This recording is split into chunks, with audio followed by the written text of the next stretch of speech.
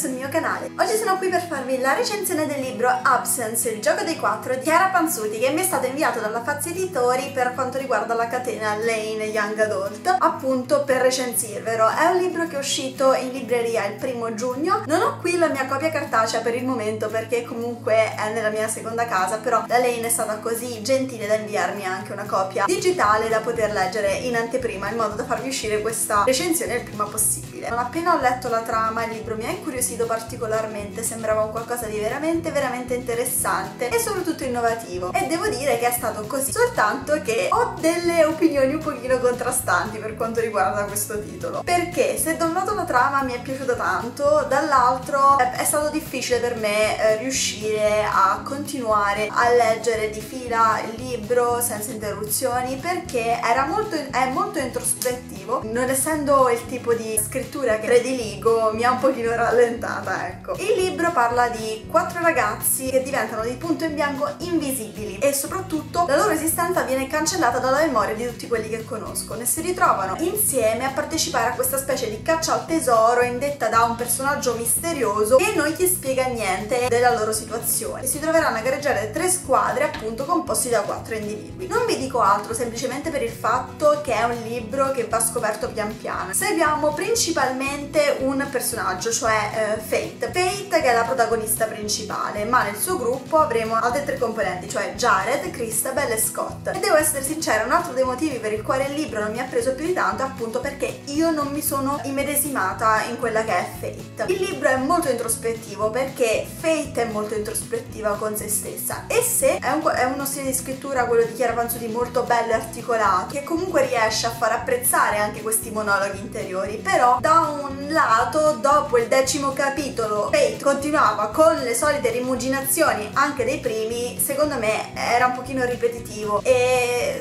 annoiava, almeno a me ha annoiato un pochino questa cosa. Ho prediletto due altri personaggi che sfortunatamente sono quelli che si vedono di meno, cioè Christabel e Scott, che sono quelli che vanno un pochino a alleggerire i toni del libro, che altrimenti se visto soltanto dalla mente di Jared e Fate diventa pesantissimo a mio avviso, soprattutto perché Fate secondo me non è l'eroina giusta per questo tipo di libro, nel senso io mi ritroverei in una situazione in cui non so niente di quello che mi sta succedendo, buttata in un gioco in cui la mia vita è a rischio, non me ne starei lì a piangermi addosso, a pensare a quello che ho perso. Sinceramente l'istinto di sopravvivenza dovrebbe prendere un attimo il sopravvento, come fa un pochino, non con Chris per forza, ma con Scott. E anche con Jared, Jared è già un personaggio che apprezzo di più. Il mio voto per questo libro sono state tre stelline e principalmente appunto perché non sono riuscita a medesimarmi tanto con Fate e perché secondo me questi monologhi interiori che ha la protagonista diventano ripetitivi al decimo, quindicesimo capitolo perché sono sempre più o meno gli stessi, anche se vengono articolati in un modo fantastico. Chiara Panzotti riesce a scriverli in un modo veramente magico, soltanto che sinceramente dopo un po' mi annoiava, addirittura saltavo delle frasi che volevo andare avanti, volevo, avrei preferito un libro più incentrato sull'avventura e sui misteri, che ci sono comunque, piuttosto che Fate e quello che prova, perché sì ci sta, serve per capire il personaggio, però dopo un po' almeno a me ha stufato. Un'altra cosa che ho apprezzato, però non quanto avrei voluto, è stata la storia tra Jared e Fate,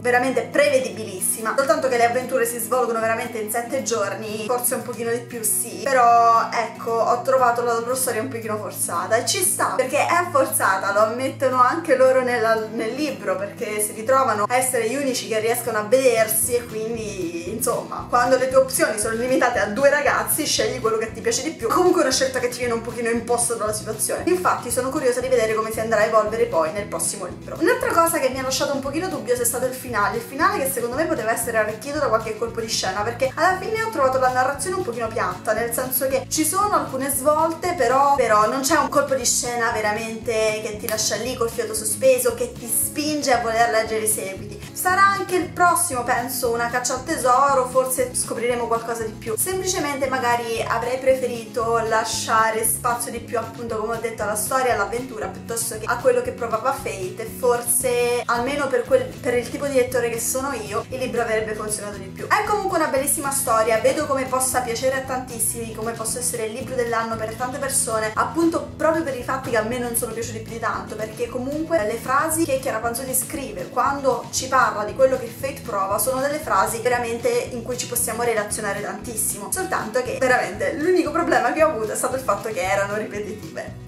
scritte in modo diverso, ogni, ogni frase era più bella dell'altra, però alla fine io avrei preferito dare più spazio all'azione. Sono una tipa tutta da combattimenti e non lo so, misteri e avrei voluto un pochino di più da questo libro. Questa è tutta la mia recensione, fatemi sapere se l'avete letto, se l'avete acquistato, cosa ne pensate giù nei commenti, come sempre vi lascio giù nell'info box il, il, link dove poter acquistare Absence, il gioco dei 4 su Amazon e in più tutti i link ai miei altri eh, social network. Ringrazio ancora la Fazzi per avermi inviato gentilmente questo titolo che comunque si è rivelato decisamente interessante. Se il video vi è piaciuto lasciatevi un bel mi piace, se non l'avete ancora fatto iscrivetevi al canale perché mi aiuterebbe tantissimo. Noi ci vediamo alla prossima. Ciao ragazzi!